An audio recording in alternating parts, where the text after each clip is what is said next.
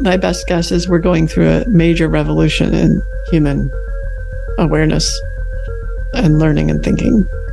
And in this revolution, we will have the time before we thought, before we recognize that that time doesn't work the way we thought it was, and then after we realized that we were wrong about that. That time is at least, at least all at once, if not multiple instances of events across the universe.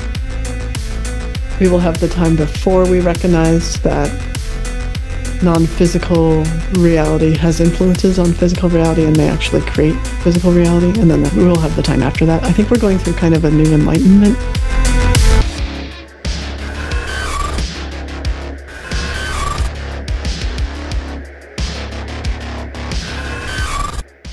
Welcome back. I'm here with Dr. Julia Mossbridge. Julia, welcome.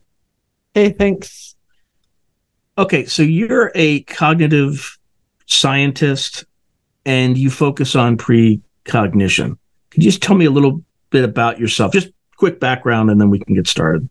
Yeah, I'm actually a cognitive neuroscientist, so there's a difference which doesn't matter. And yeah, I screwed it up. I, I yeah, it doesn't matter. Whatever. It's my training. Mostly what I do now is talk to people about the science that I have done and do a little bit of science on extraordinary cases on the side. But I focus on precognition and technology development and also creating technology development for our future that's related to AI and to our capacity to navigate the future. So that's now, what I do. Now, you recently moved from Northern California to Washington, D.C. Yeah, wow. I know the way you say that. well, I live in Northern California. Like California's got its problems, but it's really nice out here. You're projecting your bias all over the place. Northern California, the good place to Washington, D.C. Yeah, I know. I love Northern California. I grew up in the Chicago area and moving to California was just like a dream. Mm-hmm. It's amazing. And I haven't given up on Northern California. I have a house there. We're renting out the house. Okay. But we're renting a place in DC, my husband and I, or not DC really, actually Fairfax, Virginia. But the last three years, I've felt this sort of, I almost want to call it a calling.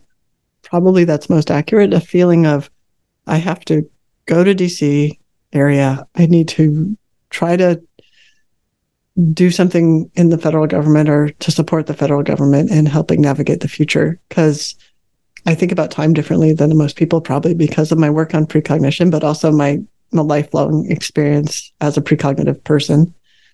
And I don't know if it's going to work out. I might end up working in AI and see what I can do with AI and navigating the future. There's a lot to do there. So we'll see. But that's what's going on right now. And in fact, the reason why you see me talking on a microphone and a stack of books is I'm staying at a friend's house and house sitting while she's in Texas. And my husband and I are just living here until we are ready to move into our house. So it's all just very hacky, which is sort of how my life is, I think. Like I follow the next thing that feels good or field that I get curious about and go towards it. And I don't do a lot of questioning. And the universe, or whatever you want to call it, seems to oblige by shutting off all sources of income in whatever thing I'm leaving and turning on sources of income in the thing that I'm going towards. So it's a nice signal. Yeah, I've actually experienced some of that. I won't get into it, but it's kind of like suddenly just things appear and you're like, oh yeah, this makes sense. I should be doing this for this reason, etc.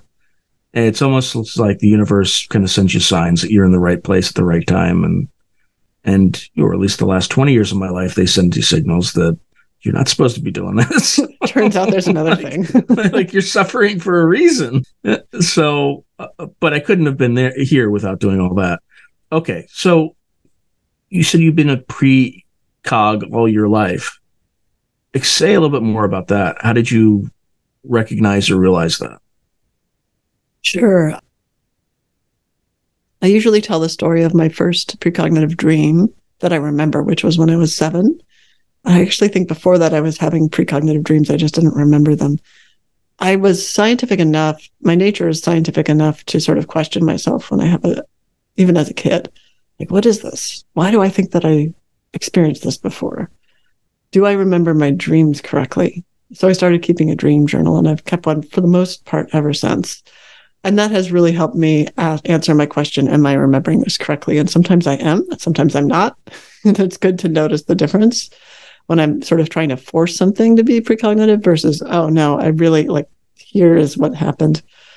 But the dream was really mundane, which is very common for precognitive dreams. It was that mm-hmm. a particular friend would lose her watch on the playground the next day, and that and that happened the next day at, at recess. So those were the the components, and that is what happened. And it's so mundane, but also very specific, and also mm-hmm. boring. Like it's a boring dream. it wasn't like, and then there was the invasion of whatever. It's like she lost her watch. But why did I dream that? And I think it when I look at why, because people ask me that a lot on about precognition, because I I research it now and, and have for about 15 or 20 years. When the United States and China clash, the world will never be the same, especially when forces beyond reality threaten to intervene. What if the United States went to war with the People's Republic of China? How would these rivals fight for supremacy on land, sea, air, and across the stochastic streams of time? What wonder weapons would be unleashed? What horrors would emerge from the irradiated sludge of the South China Sea? What heroes would rise and forever change the course of history? Tread into the deepest and darkest dimensions of the multiverse, gaze through a kaleidoscope of fractured realities, and bear witness to the disturbing visions of World War III from today's greatest minds in science fiction, fantasy, and horror. Weird World War, China. Available now from Baen Books at Baen.com. I had Ingo Swann explain this to me in a dream once. I was having a precognitive dream more later in my I was in my 40s. And Ingo Swann, and I didn't know what he looked like at the time, so I didn't know it was Ingo Swann until later. In fact, I talked about this dream on Unexplained, and at that time I didn't know it was Ingo Swann either. But he showed up, and he was like a guide. And after he showed me the event that I was precognizing, which was a, a bombing in Kuwait City, Kuwait, during noontime prayers, after he showed me that, and it, that was very matter of fact. Although I was like, oh, this is horrible. I didn't feel good about it, but it was what he was showing me was matter of fact about this event. He took me aside and he said, "This is how it works," and he was carrying on his back a quiver with a bunch of arrows in it. And he said, "You know, you reach back, you don't know which arrow you're getting, and you go." And the arrows are not chosen by you; they're what's in your quiver.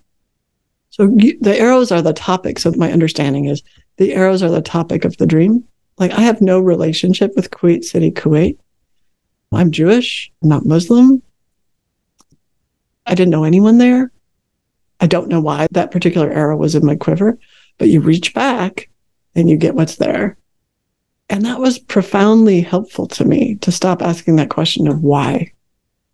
It's like uh, taking it more as at least when you're having these spontaneous precognitions rather than doing something like precognitive remote viewing where you're intentionally going after whatever the tasking is. In these spontaneous precognitions, stopping asking this question why and instead just saying, This is what I got. It was my arrow, and I'm just going to report it to my journal. In fact, the other day I had the weirdest one where I got a phone number. I've never gotten a phone number in my dream. This guy in the dream was following me, FBI agent. And I just jumped on the hood of the car and I said, What? Like, why are you following me?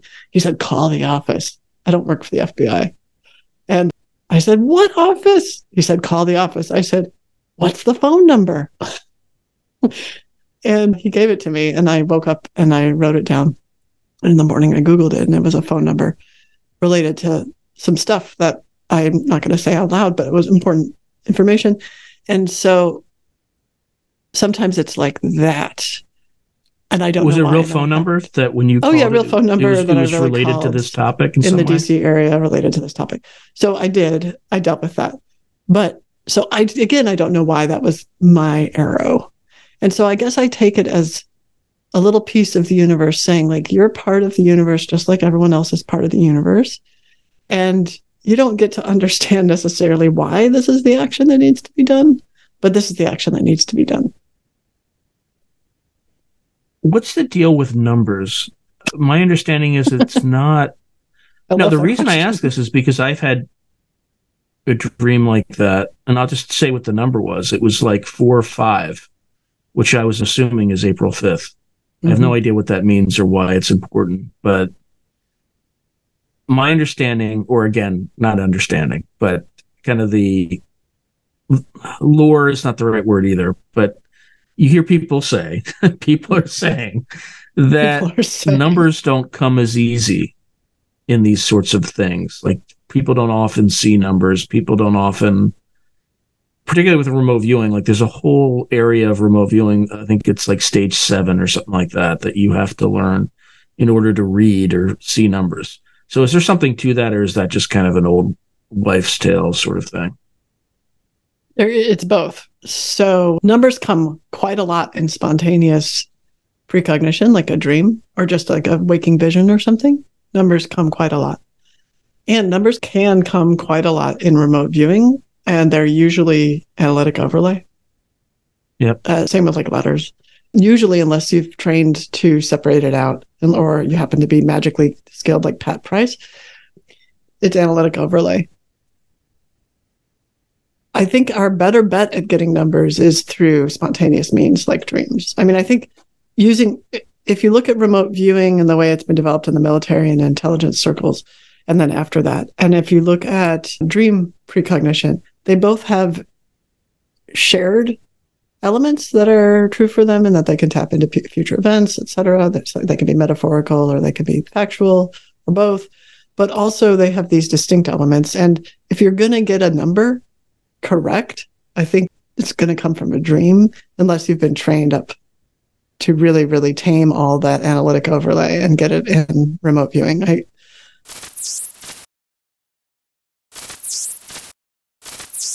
To advertise on Through a Glass Darkly, email Through a Glass Darkly ads at gmail.com. and then sort of answering the question more deeply, the unconscious wants to speak in symbols and metaphors, and numbers are symbols.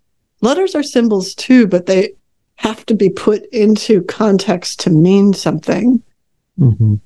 uh, except for things like Hebrew letters are also numbers. So that's it, it'd be interesting to do a study on people who speak Hebrew and whether they can get letters better.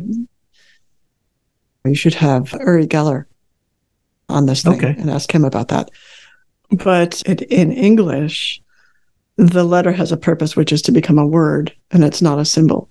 And so numbers, I think, can be more symbolic for us and help us bubble up the information from our unconscious minds a little better. So I think it's mixed. I think it's complex and kind of mixed. Okay. All right. So one of the things you mentioned that you do is you keep a dream journal. And by the way, this is not the first time I've heard that. Are you familiar with Eric Wargo? Time Oh, yeah. Good friend, also in the DC area. and, um, Interesting. yeah. And neat. I just love his Time Loops book. His Time Loops book came out on the same day as my Premonition Code book. Same day, October 18th, 2018. Was cool. Interesting. Well, again, that's probably not a Who coincidence. right? knows? it's it's probably It- at this point, like the fantasy that we could figure out how it works is hilarious. okay. So you're in DC. You're trying to get the government to do, or at least look at the future a little bit more holistically. Yeah. I know that there used to be this office called the Office of Net Assessment. I mean, there still is, but Hmm. they used to focus on kind of intermediate to far future stuff, like 25 years out. And it was headed by this guy, Andy Marshall. That was his oh, first Yeah, yeah, name. Andrew couldn't Marshall. remember all that. And I think he left and he was right during the Bush administration. He was, or later, I, I, I think he was in his 90s when he left. And he had been there for a very long time, but it was this unit within the Pentagon or organization within the Pentagon that would do these kind of far ranging assessments of the future. What do they do now? And what do you think the government should be doing? Or how should it be looking at these future assessments? I don't know what they're doing now. I just know that they're not doing the same thing that they used to do. I don't have enough in- inside information. I'm not in the federal government. I'm just talking to people. So, what I hear when I talk to people is that it's not doing what it used to do because it's not funded, right? Like it used to be. So, I think what they used to do was actually also, in addition to do this kind of strategic foresight, they also gave grants to wild research ideas related to trying to navigate the future uh, and future technologies. So it does seem like something that would be useful right about now with AI and such. so maybe that funding went to Biden's executive order recently speaks to how we have to basically hire a bunch of people in the federal government who understand AI and, and how to navigate that. So that could be where that went. I don't know. But this idea of foresight, there are various people who have been involved at, at high levels in the federal government who have said yeah, strategic foresight is really important. Like, of course, the immediate threat is always overtaking our emotional state, right? Mm-hmm. We have to deal with Israel Hamas. We have to deal with Ukraine. Those things are true. And it's not that it's not true. It's just that it's not a zero sum game. You also need to be dealing with things that can be emerging 5, 10, 15, 20, 25, 50 years out. And that helps you deal with the thing now because you have the event in context. And it helps train your analysts who are helping you try to predict what the best course of action would be to live in a longer time frame to see many more cause effect relationships and to understand where the world could be going so that we can then get it there or avoid it depending on where that could be going is. And so it seems to me that that effort something that matters to me. It's something that matters to many people who work in intelligence or, or who work in the military, work in national security. And it's a hard sell because it's like, no, but we have Israel Hamas and we have Ukraine, right? And that's and that assumes and that's under the assumption that time is unidirectional what's always the sell is that time is unidirectional and if we act now we can change these different things and stuff. That's the sell because that's how people think about it. But it's not I, unidirectional is it? Time? I don't i think it's directional. It's, I mean, so how, how would you characterize time? Like is it simultaneous? Does it move in I mean, it sounds like no direction, but somebody might say it works in both directions, like with the concept of retrocausality things like that.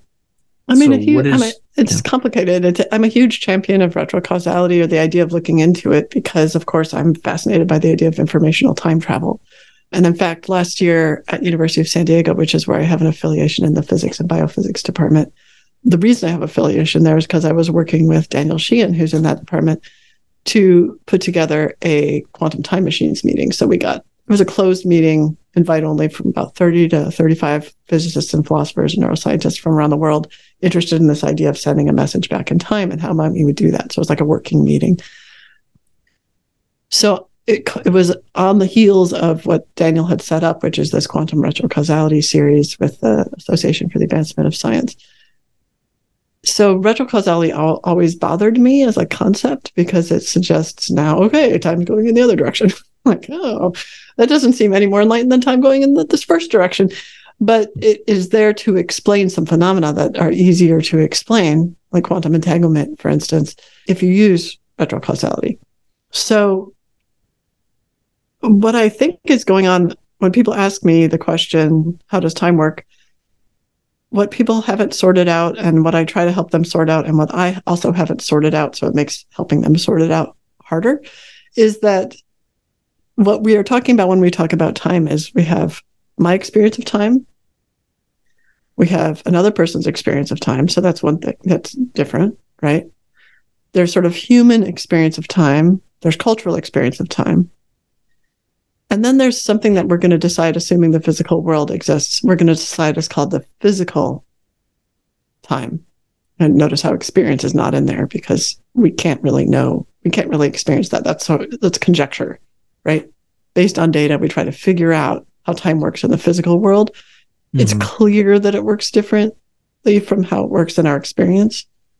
But that actually can be news to some physicists. So some physicists haven't yet realized that many of the things that they're trying to explain are things that are actually perceptions that aren't represented the same way in the physical world. So we're kind of going through a revolution in physics where some physicists are saying, wait a minute, am I explaining what I perceive or the physical world? Because they're not the same. And it's kind of like we could have avoided this if, like, 100 years ago, we made physicists take classes in perceptual psychology, but you know, showing them like one visual optical illusion and say, sorry, you can't get out of this. You're going to perceive this as moving, even though it's static. And so, and well, so, in the 1950s and 60s, they used the exact, well, not, yeah, they used the exact same technique to debunk experiencers, right? Well, exactly. And then actually, the reason why the Stargate program was started by physicists of all people, even though it was clearly a psychological set of experiments. And frankly, I think it would have been better if you had used psychologists because you're mm-hmm. working with people's minds. But in any case, the reason why it was started by physicists is because there's this sort of social hierarchy that says that physicists are at the top of the sciences. And so if physicists can, so, so the CIA says, look, let's get some physicists. If they think that this is real, then it's real. So the idea of what is real, when people ask me, how does time work? They're kind of asking, what is real? And we get to this question that we haven't sorted out. You know, is experience, do we count that experience as real? Do we count only shared experience as real? Do we count my experience as real, as real if it's different from your experience? And then we also, do we count the physical world as real? If we count the physical world as real, how do we figure out the relationship between our experience and the physical world? So, to answer the question, sorry to cr- critique the question, I had to do it. But to mm-hmm. answer the question Right. originally, how I think time works for human beings is we do have generally, when we're consciously aware, in a standard sort of everyday conscious state, not in an altered conscious state, and not in deep sleep. And not when we're dead, but when we're in this particular state, we have a unidirectional sense of the flow of time. Sense Um, being the key word. Sense. Yeah, no, no, it's a fabrication. I mean, it's a representation. We're watching, our conscious minds are presenting to us this, this is a movie of what's just happened. This is a movie of what just happened. It's never not that. What about the physical reality? Right. So in physical reality, and I also think in the unconscious, which uh, which is ninety five percent or more of the rest of what our brain is doing, time doesn't work like that. So we are presented with this reality that I think is the exception rather than the rule. I think in physical reality, I'm leaning. There's really no way to separate right now, as far as I can tell, these theories. Maybe I'm narrowing in on way to separate it, but I'm leaning towards the all at once picture. So like Mhm. time is more like a landscape painting and our perception moves across it. Like we are aware now we're aware of having this conversation. In an hour, we're going to be aware of I'm going to have lunch. In an hour after that, we're going to be aware of another meeting. So it's the story of what we're aware of is the story of the relationship between our experience and what the phys- what's happening in the physical world. So having said that, if you believe in that, what that opens up is the possibility that your aware, your unconscious mind, if your unconscious mind has more access to this whole landscape, that your unconscious mind can leak information into your conscious mind and say, like, hey, there's a 9 11 down the street. I noticed. And maybe you could prepare for that in some kind of way, like not going into work that day. It sounds to me, and again, correct me if I get this analogy wrong, but it's almost like a series of radio stations across different frequencies. And when there's an event like 9 11 up here at this frequency, and you're back here at a lower frequency, which is, let's just say, is earlier time, right? Again, just a radio, they're all happening simultaneously. When there's a event like 9-11 there's maybe a perturbance in the force so you have your you know like a frequency on a radio wave it's not like this just one straight line it's there's like a wave pattern where you you know where there's some overlap there's some leak through that you're talking about maybe Mhm. when you have an event like 9-11 that fringe kind of bleeds off because it's a big spike big noise like an energetic spike energy spike that might bleed back and forward into time It's when you talk like that, I start thinking about signal detection theory, right? Because I'm thinking Yeah. about these, right? And I'm an electrical engineer by training, so I'm Oh, yeah, yeah. Okay, right. So I, I, studied psychoacoustics, so all about auditory signals. So, one implication of, let's be really nerdy, and one implication of like increasing the peak is if it's a normal distribution, sometimes you can have, like, it depends, right? What is the standard deviation? Are you having a narrowing? Is it the same amount of energy, but in this narrow space, in which case you have less access to it, or in a broader space? So, one of the ways I yeah, like- fat tails, fat tails. Fat tails. You have fatter tails? Right. Right. And so one of the ways I like to think about it that gives non-signal detection theory nerds a better metaphor, I think, is that people are more familiar with, but I, I like that metaphor. I just think it's less accessible. Is you ever stick your finger in the water as it's coming out of the tap and you notice there's a wake, of course, towards the Mhm. towards the basin. We know about wakes, that's reasonable, but there's also this little back pressure here that puts a little bubble above your finger. So imagine that your mind is going along and it goes, wait, I sense that something's different here.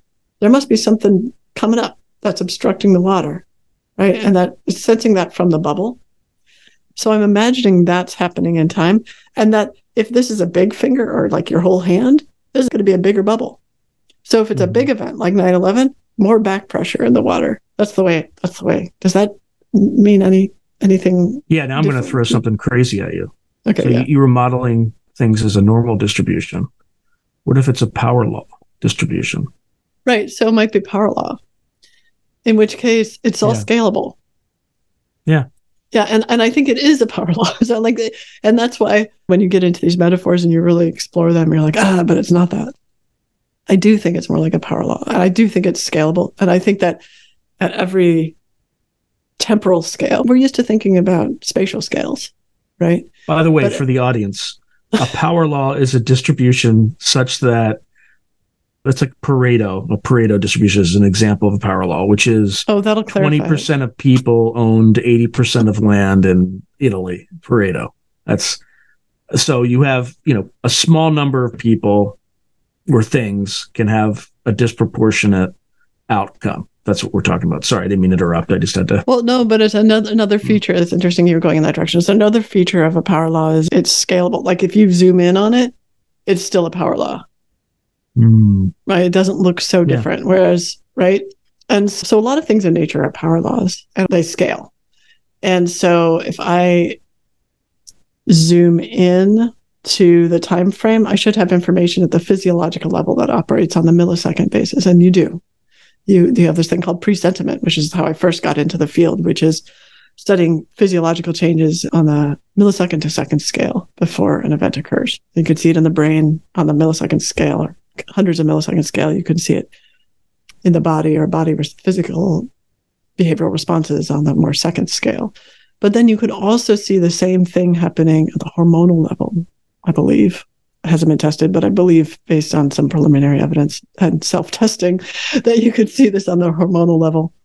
And I think you could see it on the behavioral level, which is even it's somewhere in between these.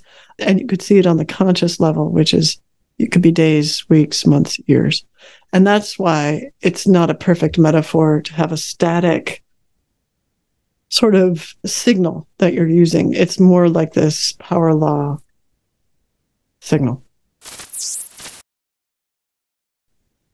I like that. And for, and in terms of how to at least scale that, if you're predicting futures, there's a technique called Monte Carlo simulation where you just feed a power law wave into a function or system, and then the output that you get is your range of outcomes depending on whatever changes you made in that system.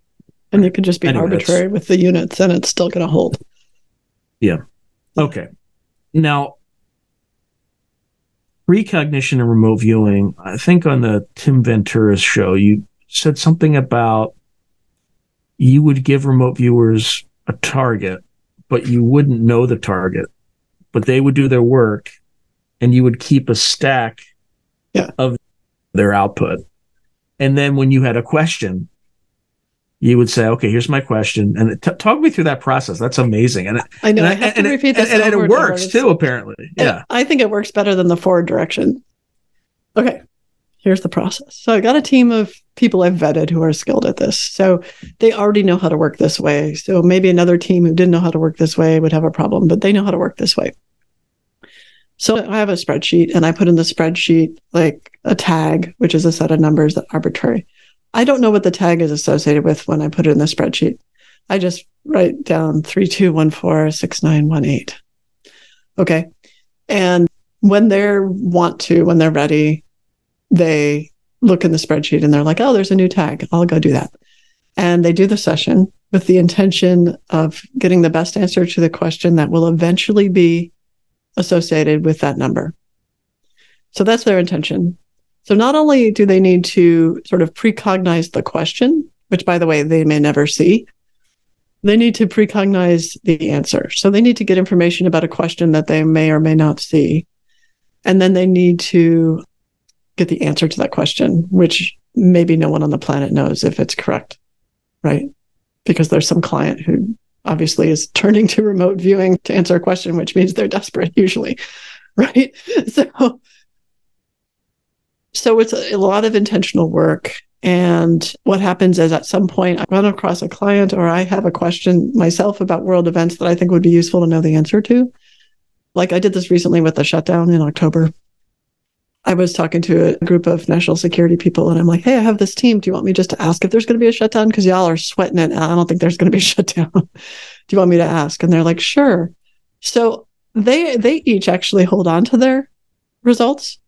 But then when I send out an email that says, hey, now we have a tasking for this number that I just said to you, but I of course can't remember, but for this thing, they send me their session. So their session is done. It's dated whatever, two months ago. Right. Now I know what that number is associated with. I know what the question is. Depending on the situation, I may never tell them what that is. But they know now that there's a tasking associated with it. Then, as an analyst, I go through, I know each of their minds. I know kind of how their unconscious minds work a little bit. And I go through and I analyze their data in light of the question that's just been associated. Then I go to the client, in which, in this case, it was just a group of people in national security. And I said, okay, my team says it's very clear. There's total agreement. There's not going to be a shutdown. There's going to be bigger problems after that, but no shutdown. In fact, that session was so clear that I actually retasked it on something else because it was boring. I mean, it was so, it was not very interesting to answer that question because they answered it within the first page. so it's like, all right. That's how it works. And so just to break it down to simpler steps one, answer the question but that you don't know what it is. No one knows what it is. Two, the tasker finds out what the question is, gathers the data. Three, the analyst, which could be different from the tasker, but in this case, it's the same. It's me. Analyze the data to get the answer. And four, communicate the answer to the client. So that's really what it is. I think it's incredibly unbiasing on the part of the data, right?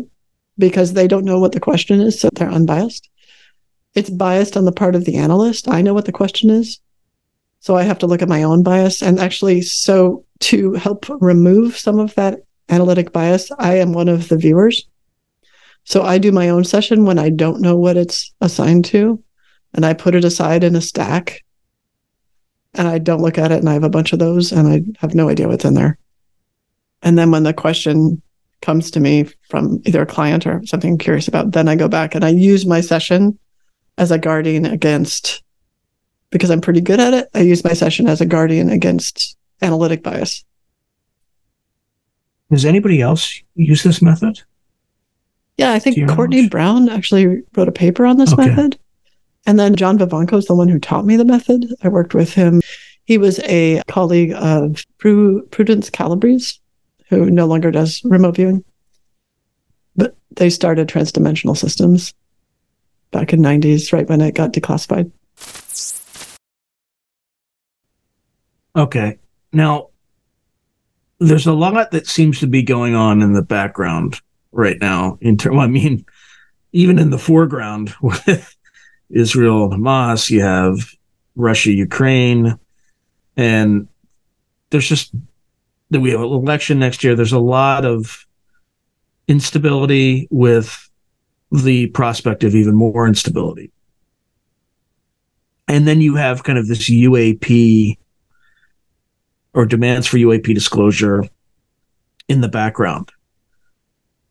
Based on your work, what is really going on? like, is there some sort of like, I, I'm just trying to be clear with the question. Okay. There seems to be something in the zeitgeist that is beyond the physical. Yep. I don't know what that is, but there there seems to be something Yeah. to it.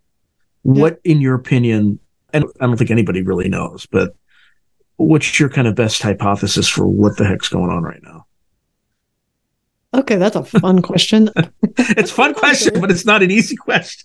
no, I mean, I certainly can't answer it. My answer Right. will certainly be incorrect. Let me just say that. But it's my sense. I'm giving, I mean, every answer I've Yes. given is my sense. And there may be things that I'm just incorrect about it. That's fine, whatever. We all just have a piece of the puzzle. You know what I'm saying? My best guess is we're going through a major revolution in human awareness and learning and thinking. And in this revolution, we will have the time before we thought, before we recognized that that time doesn't work the way we thought it was. And then after we realized that we were wrong about that, that time is at least, at least all at once, if not multiple instances of events across the universe. We will have the time before we recognize that non physical reality has influences on physical reality and may actually create physical reality. And then we will have the time after that. I think we're going through kind of a new enlightenment mm-hmm. where we'll have the time before when we thought that science was this independent thing that couldn't be touched by spirituality or human need for mystical connection, and the time after that. So, this is a really powerful time of change. So, I think that's what's going on. In terms of UFOs, it seems like they've always been around, Mhm. but there's clearly discussions of these things in records from thousands of years ago, right? So I think we're going also from a time when we say we have just gone through a time when we, for a couple hundred years, have disavowed the human experience of mysticism and unconscious promptings and the relationship between the non physical and the physical. And we're coming into the, I think we're going to be moving into an incredible avowal of that as, as we see it. So, what do I think? So, I think that the UFOs are showing us honestly, this is such a combination of answers between kind of like a Jeffrey Kripal answer or Kripal, it's Kripal, I think. Yeah. Maybe I'm wrong. Yeah. And uh, also maybe a Diana Pasulka answer, but I think that UFOs are essentially a physical manifestation of the collective unconscious. Interesting. And when I say physical manifestation, many people who study UFOs, so I'm involved in the Scientific Coalition for UAP Studies. I'm involved sort of behind the scenes with Sol Foundation and then sort of behind the scenes with Galileo Project. People who study UFOs will sometimes say, don't say that has anything to do with consciousness or the mind because people will say that it's not real. And I say this from the point of view of someone who feels that for a long time we've had evidence that human thought and non human thought, things that we consider non physical, can have an impact, a big impact on the physical world. So I'm not saying it's not real. I'm saying that what's real is that our minds have consequences and our thoughts have consequences. Thoughts, thoughts create things, basically. They help. Yeah, I think. I think. well, I mean, look, you, you can be you can be expansive about that, or you can be literal about that, right? It's yeah, thoughts prob- have it's effects. probably on, not a literal thing, but it's like thoughts have effects on things. Yeah, yeah, like if I want to create a podcast, right? Yeah. It doesn't just manifest. I have to actually do it, but I have you know those thoughts were manifested into action. I'm, Right, you know, I'm not taking the extreme woo, right? e- Example. yeah, but it could be. The, I mean, so the problem is the extreme woo could be correct. Like it could be. I wrote this whole book with Imants Barušs called Transcendent Mind about how potentially the mental could create the physical. I mean, like that could be what's real. In fact, we call it woo because we don't consider it real because we're in this culture right now that considers only physical things real. So I don't want to take that away. I just want Right. to say, like that extreme case, you don't have to suppose that to say, just one thought could have one actual effect on a physical system, and that changes everything. What do you think is going to happen with disclosure? People, I just want so much compassion in the disclosure space. I've talked to, you. I felt compelled last, I think it was last fall, to do a, yeah, it was, to do a series of interviews with people in the in the nonprofit and academic UFO research space. And I kind of wrote up my results on Medium. And I just want so much compassion for that space because there's a whole group of people who think that it's the right thing to do to protect people from information that they think is going to freak them out too much. And they really think it's the right thing to do. And they think they're doing the compassionate thing. And then there's a group of people who think it's the right thing to do to disclose that all information all over the place. And they think that's the right thing to do. And it's like, if we could get it that what people in that space are earnestly trying to do is what they think the right thing to do is, you can have mm-hmm. compassion for the person who holds the opposite view and to understand that there really are intelligence needs around not reporting on underwater sensors and stuff like this. Like, you know, that's where the Russian submarines are with nuclear weapons. And so it's like, it's not a lie that there's a need for secrecy in yeah. some situations. And so just like, I keep wanting, I talk to, do you know Hussein uh, Grama at University of Chicago? He does no, I don't. Say more.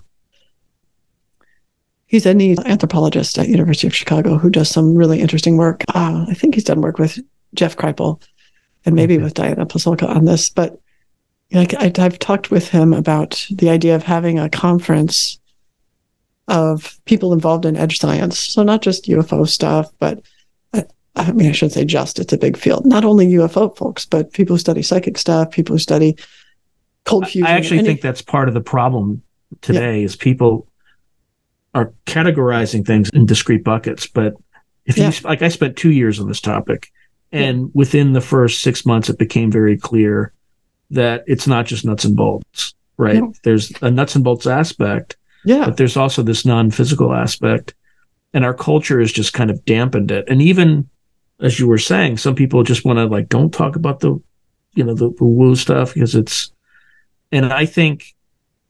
Uh, number one, I think the current approach is a disaster. I think it has the potential to lead to even greater instability because as each day passes, credibility in the institutions is deteriorating.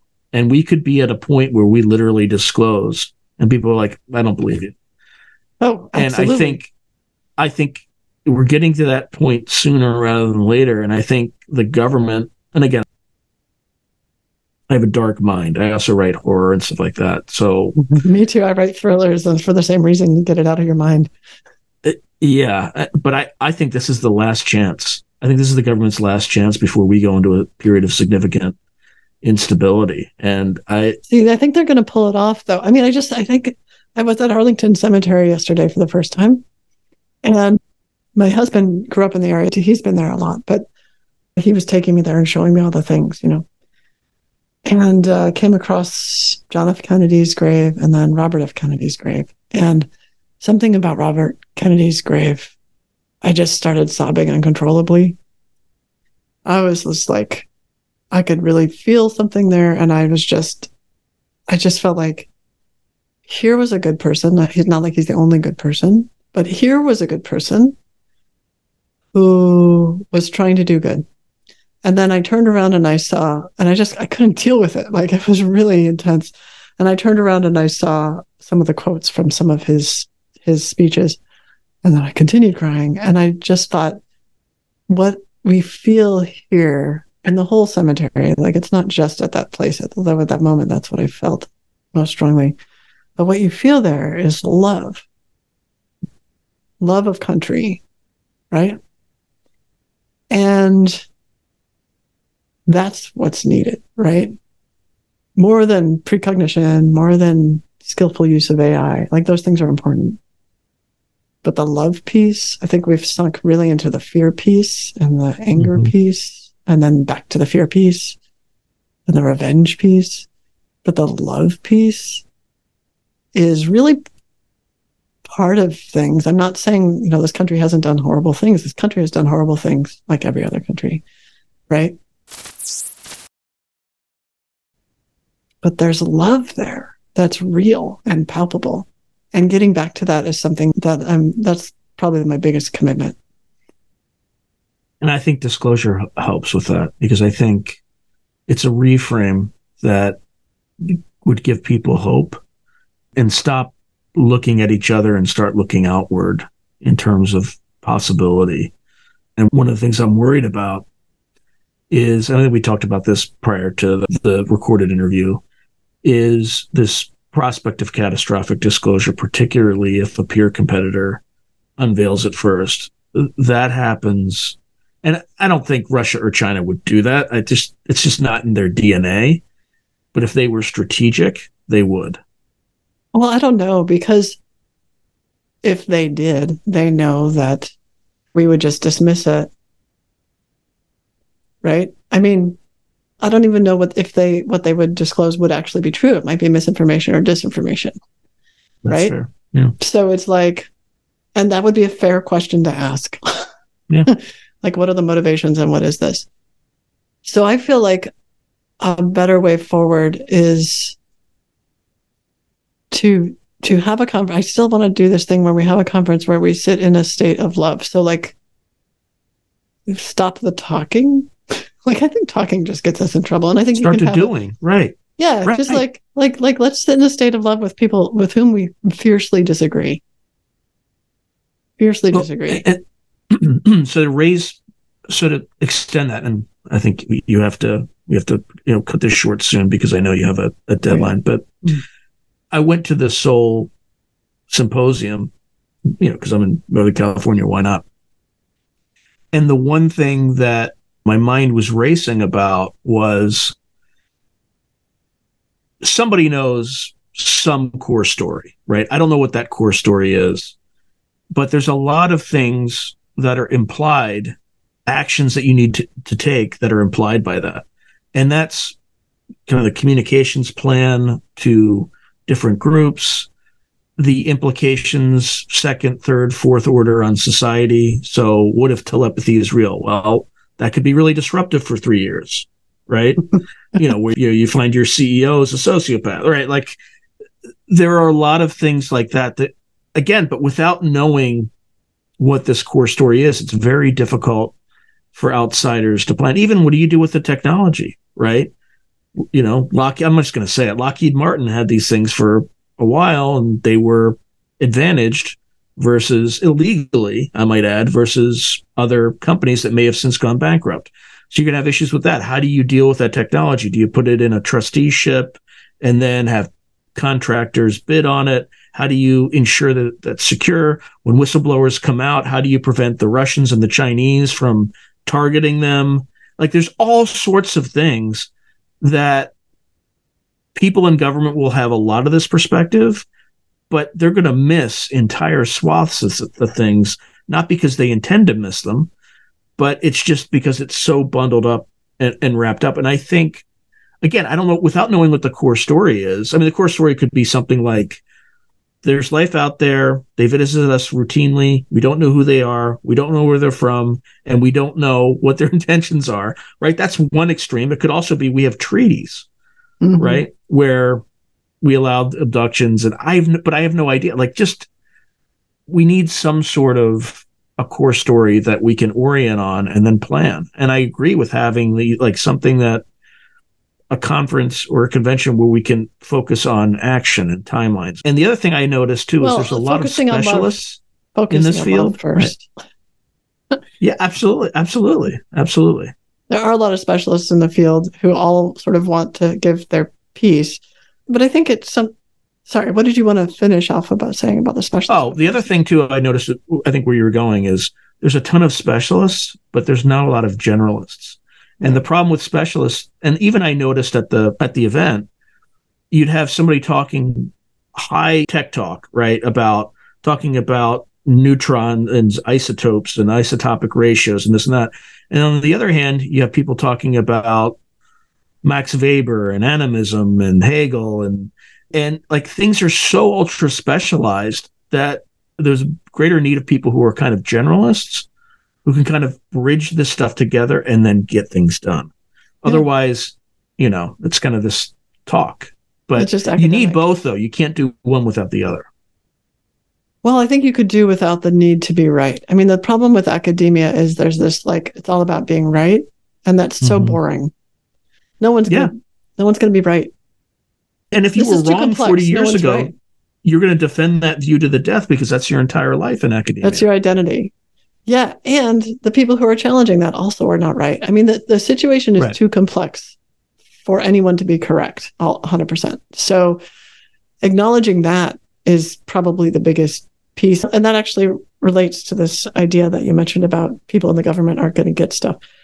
You know, before I started getting talking to people in intelligence community in the US and trying to understand, like just as a scientist observer, like what do you do? Like what what do you like? I thought those people in the government won't understand this stuff. But there are some, I mean, like, Yeah, they do. Some of yeah. yeah, I mean, there are Hmm. some really good, smart uh, uh, people who are aware of their political bias eh, on either side of the spectrum and try to separate it out and or state it and say this is my bias and but I see this, you know, which is actually opposes my bias. These are people who they actually create a recruitment system that tries to make sure that it's enough people on each side of the aisle who have those biases. I mean, this is a group of people who get it that a thinking mind is what is needed. And that thinking mind is created by a bunch of people who can think independently. So I think there's hope. I think there's a lot of hope there. And I think that they have been traumatized by being in a situation where their commander in chief did not trust them in any way or think that they were doing anything good. And so it feels to me like there's so much post traumatic growth for the US government. That's what I'm thinking. Yeah, I think this is one of those things you have to go through hell to get to heaven in a sense, right? You you have to go through the chaos in order to get to the other side. And so I think this is something we're going through. All right. I, I'm like exactly when you need this. So I appreciate you, D- Dr. you. Mossbridge. It, it, Mossbridge. It, it's been fascinating and definitely would love to talk to you again in the future. Sean, I love it. And what a great capacity you have to talk about the highs and the lows and the general. It's fantastic. All right. Well, thank you very much. If you enjoyed today's video, please hit like and subscribe, and also hit the notification button so you can be notified whenever I post new content. Thank you. Now, if you're enjoying the channel and you want to support it, there are several things you can do. In fact, there are five things you can do. The first thing you can do is just buy my books. I got plenty of books out in the market right now, and I would prefer that folks buy a book rather than giving me direct support because they get something out of it. They get a real tangible product. The second way you can support me is by becoming a member on YouTube or becoming a patron on Patreon. And just go to either site and it'll explain everything.